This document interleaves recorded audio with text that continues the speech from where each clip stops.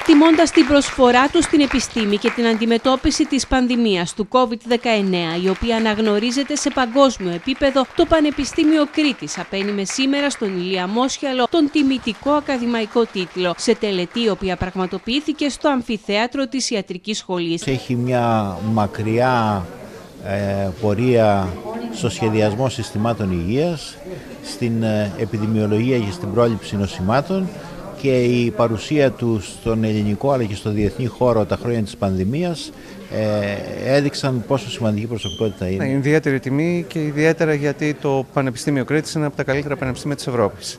Δεν είναι τυχαίο πανεπιστήμιο, έχει εξαιρετικούς επιστήμονες που διαπρέπουν διεθνώς. Για το έργο του Ηλία Μόσχιαλου και το ακαδημαϊκό προφίλ του μίλησε ο ομότιμος καθηγητής της Ιατρικής Σχολής Χρήστος Λιονής. Σπάσε τα διαφράγματα. Σπάσε τα διαφράγματα και για να ενώσεις την επιστημονική σκέψη σε πεδία που αν μη τι άλλο δεν φαινόντουσαν ότι μπορούσαν να ανοιχθούν. Μια απόφαση που έχει ληφθεί εδώ και δύο χρόνια, όμως υλοποιήθηκε σήμερα με την πανδημία του COVID-19 πλέον σε αποδρομή. Μια απόφαση που είχε πάρει σύγκλιτο του Πανεπιστημίου Κρήτης από το 2020, δηλαδή σχεδόν δύο χρόνια. Η πανδημία δεν μας επέτρεψε να κάνουμε την εκδήλωση νωρίτερα. Είμαστε πολύ χαρούμενοι που ένας επιστήμονας του κύρους του κυρίου Μόσχαλου ε, συνδέεται πλέον με αυτήν τη σχέση με το Πανεπιστήμιο της Κρήτης.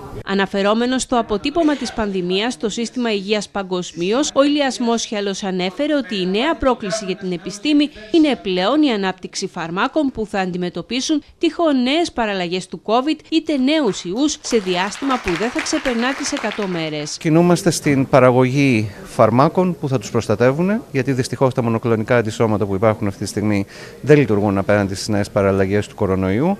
Ελπίζουμε στο δεύτερο εξάμεινο του 2023 να έχουμε αποτελεσματικά μονοκλονικά αντισώματα και καινούργια φάρμακα που να αντιμετωπίζουν όλες τις περιπτώσεις των ασθενών στους οποίους τα εμβόλια δεν ήταν αποτελεσματικά. Η πανδημία δεν απειλεί πλέον την Ελλάδα, αναφέρει ο Ηλίας Μόσχαλος, καθώς το 90% του πληθυσμού έχει επαρκώς εμβολιαστεί είτε έχει νοσήσει. Για την μεγάλη πλειονότητα των συμπατριωτών μας έχουμε τελειώσει, ιδιαίτερα για όσους έχουν εμβολιαστεί ή έχουν νοσήσει από τον κορονοϊό πάνω από το 90% αυτή τη στιγμή των συμπατριωτών μας ε, σύμφωνα με εκτιμήσεις έχουν νοσήσει από κορονοϊό. Έχουν προστατευτεί βέβαια γιατί ήταν εμβολιασμένοι.